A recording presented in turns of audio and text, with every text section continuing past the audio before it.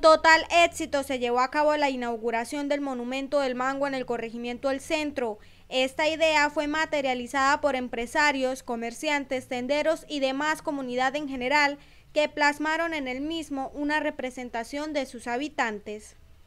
En la parte inferior del monumento fue pintado un grafiti en 3D con el fin de que sus habitantes tomen como suyo este espacio y se tomen instantáneas para que queden en el recuerdo. La invitación es para que la comunidad cuide y proteja este espacio creado especialmente para los comemangos de corazón.